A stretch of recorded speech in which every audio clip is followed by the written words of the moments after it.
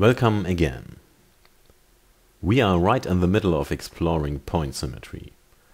And two symmetry elements are still missing. The center of inversion and the so-called rotoinversion axis. Let's move on to the center of inversion. If an object has a center of inversion or shows origin symmetry, then the object is constructed in such a way that there are always two matching parts, which have the same distance from the center of inversion but lie in opposite directions. An octahedron, for instance, has a center of inversion, namely right at the center of this octahedron. It has, of course, also other symmetry elements, mirrors, rotational symmetry, and so on, but also this inversion symmetry. And this means every two pairs of points of this octahedron have the same distance from this center but lie at opposite directions. The octahedron is perhaps not the best example because of its high symmetry. Let's look at an example which only has origin symmetry. For instance, look at this playing card, a queen. This queen has an inversion center. The face, these symbols, here clubs, and any other part of this card is present twice, and each pair of such identical points are related to each other by this center of inversion. This means if we have a point at the coordinates x, y, and z, then there must also be a point of the exact opposite coordinate minus x, minus y, and minus z. And not only any arbitrary point, but this exact point of the same color, nature, specification and so on. You can think of a center of inversion also as a point at which you carry out a mirroring. Not at a line or plane, but at a point. Some characters of the alphabet show origin symmetry as well. Think about a few.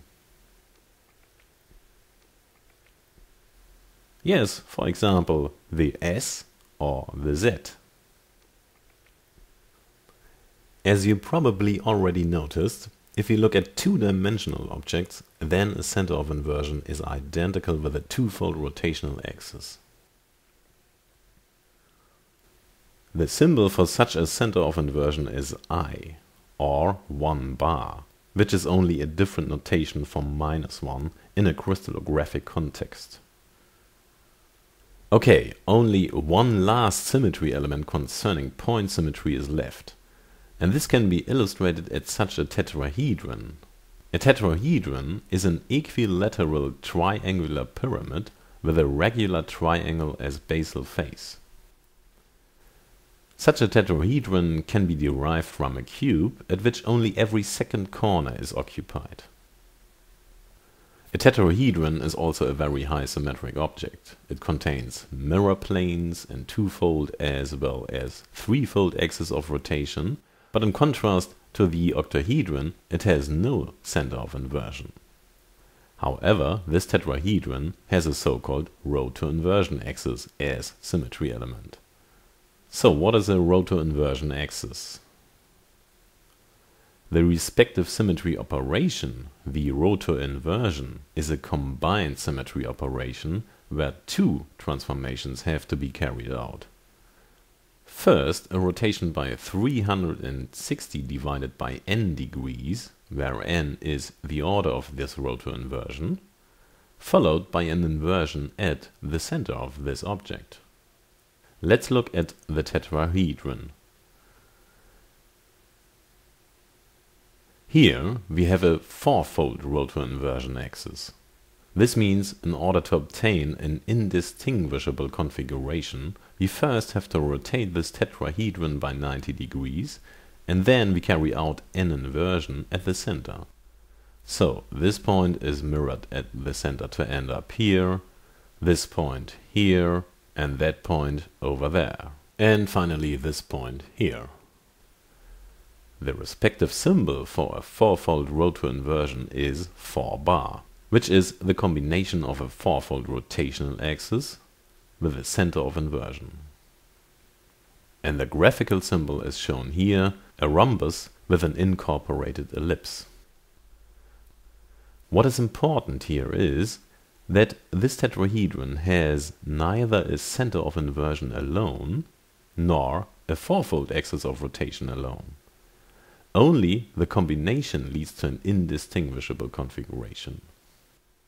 Let's now look at the different rotoinversions which are crystallographically relevant and these are the rotoinversions of the order 1 to 4 and 6. So here you see three point assembles which show rotoinversions of the order 1, 2 and 3. The first two are not very interesting because these rotoinversions can also be described as a simple center of inversion for the order of 1 and a rotoinversion of the order 2 is simply identical with a simple mirror ring, so they do not constitute a new symmetry element on their own. This is different for the rotoinversion of order 3, which is shown here on the right. As you can see, rotoinversions of odd order 1 and 3 possess automatically a center of inversion. Two further rotoinversions are left, namely rotoinversions axes of the order 4 and 6, which are shown on this slide. This fourfold rotoinversion was already exemplarily explained with the help of this tetrahedron. As you already know, rotational symmetry in crystalline matter is limited. We can find only rotoinversion axes of the order 1 to 4 and 6. Two further principles can be derived concerning the totality of rotoinversions. Even rotoinversions automatically contain an axis of rotation of half of the order. The rotoinversion 4 bar contains a twofold axis of rotation, and the rotoinversion 6 bar always contains automatically a threefold axis of rotation. And secondly, if the order of the rotoinversion axis is even and not divisible by 4, then there is automatically a mirror plane perpendicular to this axis. As we only consider crystallographic rotoinversions, this principle holds for 2 bar and 6 bar. Good. In principle, up to this point we dealt with all point symmetry elements. However, these rotoinversion axes can also be described as rotary reflections.